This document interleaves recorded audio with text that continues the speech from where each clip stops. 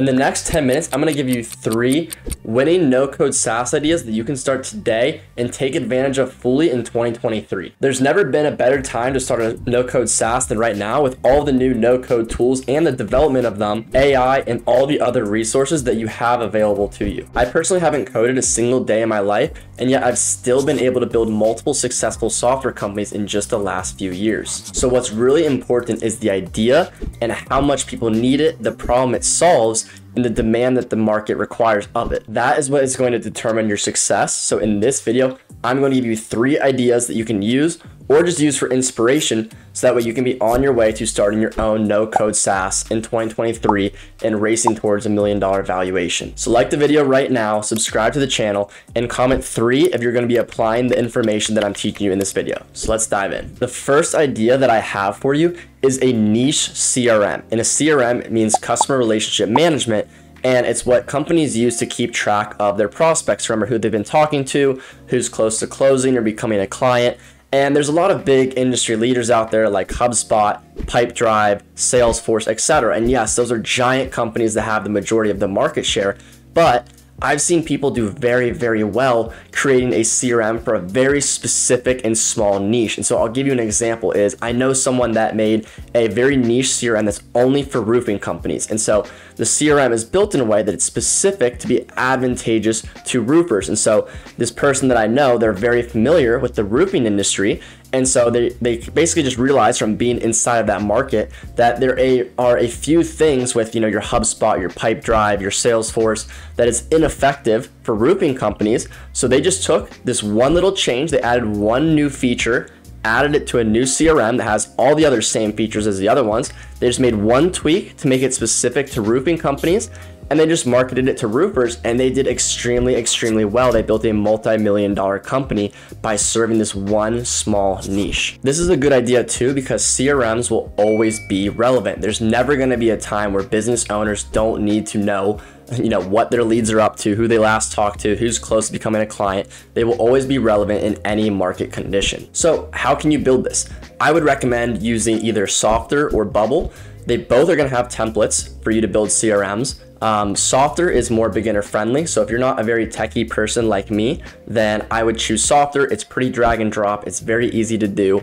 So if you're a beginner, you're not very techie, or you could still pay a Softr dev off of like Upwork or Fiverr, and it would be pretty inexpensive. It would be like probably between $1,500 and $2,000, which I know is still a bit of money, but it's much less than if it were to be on Bubble, for example. But if you are a more advanced or techie person, or you just want to learn it, I would use bubble.io and you'll be able to build a much more robust and you'll be able to build a better product. But like I said, it's a steep learning curve. And if you were to pay a development agency, it would probably run you between 10 to 15 grand to get an MVP.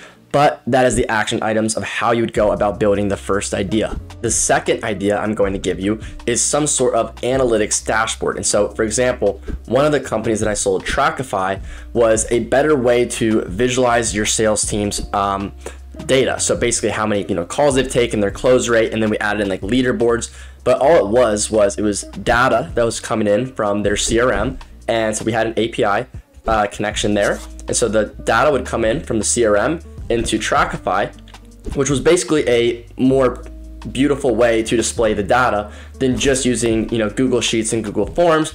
And yeah, we ended up adding a few other bells and whistles later on, but its core functionality was be a better way to give you an overview of all of your data, and I've seen a lot of people crush it doing this model. For example, I have another friend that his software is he has a dashboard that it basically just connects to, for example, your investment account. So like maybe your Charles Schwab and, and it connects to your bank account um, and some of your like your Robinhood. And so basically you can see all of your different investments and all of your money in one place. So that way, instead of having to log into each thing to track individually, you can log into one dashboard, see all your finances, and then there's graphs and stuff to see how it performs over time.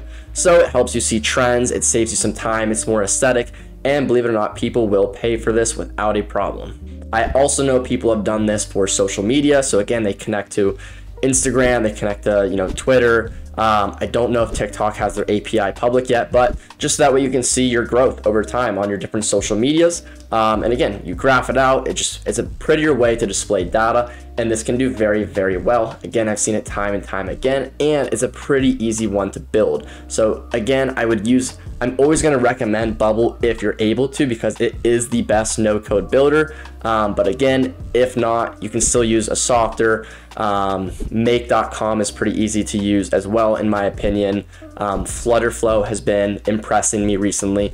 So look into these different tools to build something like this. And the third and final idea that I'm going to give you is a fine-tuned GPT-3 model of some sort. And so all this means is you are going to take a data set of some sort and you're going to train essentially chat GPT to basically be able to write or sound like some sort of data set that you gave it. So to give you an example, I might have used this before, is I trained a GPT-3 model to generate LinkedIn posts that sounded exactly like the 200 most engaged with B2B posts that I could find online. So basically, I would take LinkedIn posts from, you know, your Alex Hormozi's, um, Will Cannon, and Alex Berman, and I would train the model off of their posts so that we would learn to write more like them.